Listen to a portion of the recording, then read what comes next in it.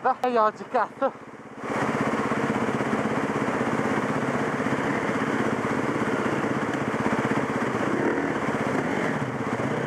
Quanto?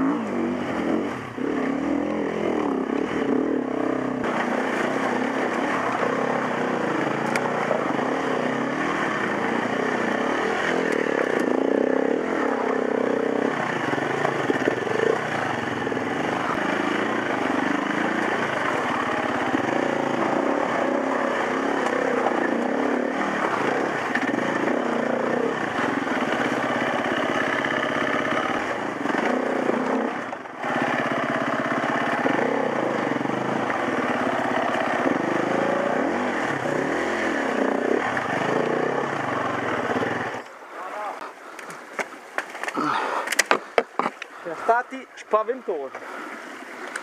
Abbiamo fatto una roba che secondo me ci meritiamo il premio degli enduristi